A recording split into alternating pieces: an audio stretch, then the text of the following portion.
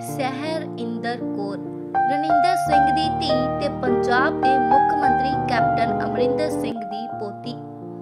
ਜਿਸ ਦੇ ਵਿਆਹ ਦੀਆਂ ਤਸਵੀਰਾਂ ਤੁਸੀਂ ਵੇਖ ਰਹੇ ਹੋ। ਸ਼ਾਹੀ ਸ਼ਹਿਰ ਪਟਿਆਲਾ, ਜੋ ਰਾਜਾ ਭੁਪਿੰਦਰ ਸਿੰਘ ਦੇ ਵੇਲੇ ਤੋਂ ਪਹਿਲਾਂ ਹੀ ਮਸ਼ਹੂਰ ਸ਼ਹਿਰ ਹੈ। ਮਹਾਰਾਜਾ ਭੁਪਿੰਦਰ ਸਿੰਘ ਦਾ ਪੋਤਾ ਕੈਪਟਨ ਅਮਰਿੰਦਰ ਸਿੰਘ ਤੇ ਹੁਣ ਮੁੱਖ ਮੰਤਰੀ ਕੈਪਟਨ ਅਮਰਿੰਦਰ ਸਿੰਘ ਦੇ ਘਰ 'ਚ ਹੀ ਖੁਸ਼ੀਆਂ ਵਾਲਾ ਮਾਹੌਲ ਇਸ ਤਰ੍ਹਾਂ ਦਾ ਬਣਿਆ ਹੈ ਕਿ ਮੋਤੀ ਮਹਿਲ ਪਟਿਆਲਾ 'ਚ ਸ਼ਹਿਨਾਈਆਂ ਵੱਜ ਰਹੀਆਂ ਨੇ। ਜੀ ਹਾਂ 1996 'ਚ ਜਨਮੀ ਯੁਵਰਾਜ ਕੁਮਾਰੀ ਸਹਿਰ ਇੰਦਰ ਕੌਰ, ਜੋ ਕਿ ਦਿੱਲੀ ਦੇ ਨਾਰੰਗ ਪਰਿਵਾਰ 'ਚ ਵਿਆਹ ਕੇ ਚਲੀ ਗਈ ਹੈ। ਸ਼ਾਹੀ ਤਰੀਕੇ ਨਾਲ ਵਿਆਹ 'ਚ ਰੌਣਕਾਂ ਵੀ ਵੇਖਣ ਨੂੰ ਮਿਲੀਆਂ। ਜਾਣਕਾਰੀ ਮੁਤਾਬਿਕ ਕਰੋਨਾ ਕਰਕੇ ਬਹੁਤੇ ਸਿਆਸੀ ਲੋਕਾਂ ਨੂੰ ਤਾਂ ਨਹੀਂ ਸੱਦਿਆ ਗਿਆ, ਪਰ ਵੱਡੀ ਗਿਣਤੀ 'ਚ ਪਟਿਆਲੇ ਘਰਾਣੇ ਦੇ ਰਿਸ਼ਤੇਦਾਰਾਂ ਦਾ ਤੰਤਾ ਜ਼ਰੂਰ ਵੇਖਣ ਨੂੰ ਮਿਲਿਆ। ਪਹਿਲੀ ਤਸਵੀਰ ਦਿਖਾਵਾਂਗੇ। ਪਟਿਆਲਾ ਕੈਪਟਨ ਅਮਰਿੰਦਰ ਸਿੰਘ ਦੇ ਪੁੱਤਰ ਰਣਿੰਦਰ ਸਿੰਘ ਦੀ ਬੇਟੀ ਸਹਿਰ ਦੇ ਆਨੰਦ ਕਾਰਜ ਘਰ 'ਚ ਹੀ ਹੋਏ। ਦੂਜੀ ਤਸਵੀਰ ਕਲੀੜੇ ਤੋੜਦੀ ਸਹਿਰ ਇੰਦਰ ਕੌਰ। ਖੁਸ਼ੀਆਂ ਦਾ ਮਾਹੌਲ ਬਣਿਆ ਹੋਇਆ ਏ।